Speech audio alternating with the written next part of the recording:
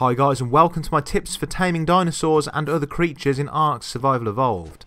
Let's get right to it. Use a bola.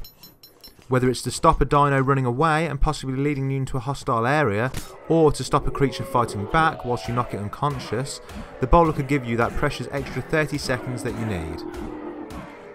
Craft narcotics. Crafting your narco berries into narcotics rather than using them raw is better in almost every way. They do not expire, they are more efficient, and they weigh less. The only extra ingredient that you will need is spoiled meat, which can be obtained very easily. I have guides on how to get both of these resources super fast, which I will link in the description. Don't waste narcotics. This one seems obvious, but it's easy to fall foul of. If your dino is almost fully tamed, there's no need to fill their unconsciousness meter all the way back up. All it needs to do is last long enough for that taming meter to complete, so be frugal and don't use more than you need.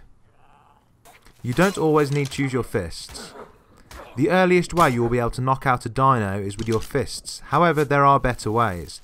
Later on in the game you'll have access to tranq arrows which are obviously more effective, however even early on you can craft a club this is superior to fists as it will knock them out faster and you will not take any damage whilst using it. Consider multiple tames. Taming some of the creatures in the game can take a long time. Consider knocking out multiple creatures within a small area and working on them at the same time. As you will have to spend your time running back and forward and keeping on things anyway, you may as well do more than one. This way you won't be waiting for hours for just one dino. If you found this video useful, please subscribe to my channel and check out some of my other content. Thanks for watching. Peace.